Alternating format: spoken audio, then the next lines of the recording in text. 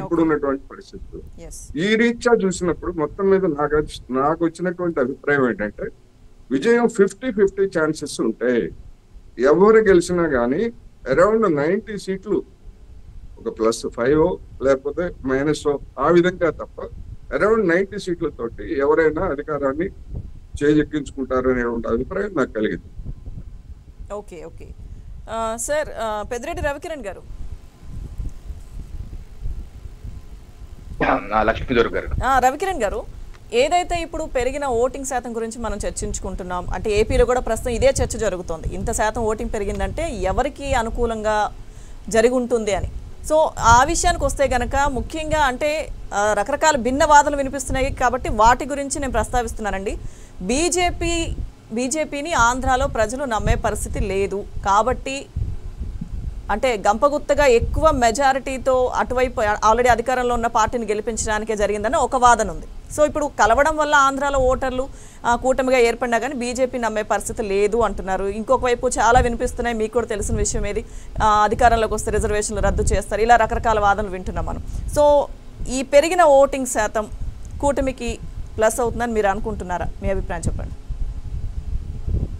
లక్ష్మీదొర గారు ముందుగా మీకు తోటి ప్యానలిస్ట్కి ఏబిఎన్ వ్యక్తులందరికీ శుభ సాయంత్రం అండి.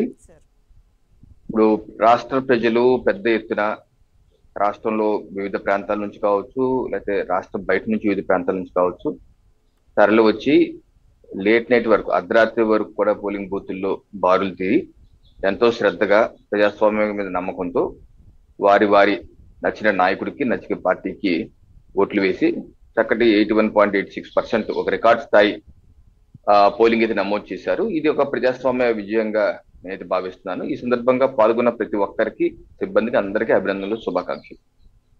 ఇప్పుడు ఆ ఎవరికి నచ్చినటువంటి పార్టీకి ఈవీఎంలో నిక్షేపం చేశారు. అది ఎవరికి వేశారు ఏంటి అన్నది నేనే దేనికి వేసానో మీకు తెలియదు మీకు దేని వేసానో నాకు తెలియదు.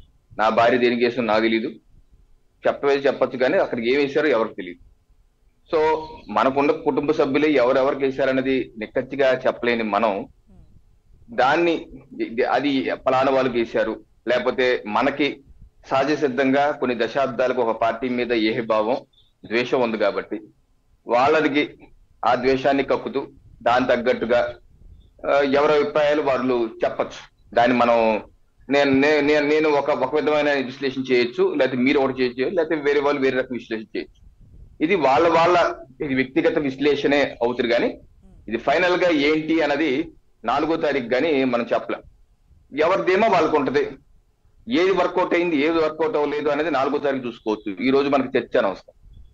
సో నాలుగో తారీఖు రిజల్ట్స్ బట్టి అప్పుడు ఎవరు చర్చ ఎవరి విశ్లేషణ వాళ్ళు చేయొచ్చు. సో ఇప్పుడు ఎలా ఎలా ఉంటదంటే ఇప్పుడు ఎవరైనా నాకు ఫోన్ చేసి అడుగుతారు రవికరణ్ గారు ఎవరు వస్తారనుకున్నాను నాకు మాత్రం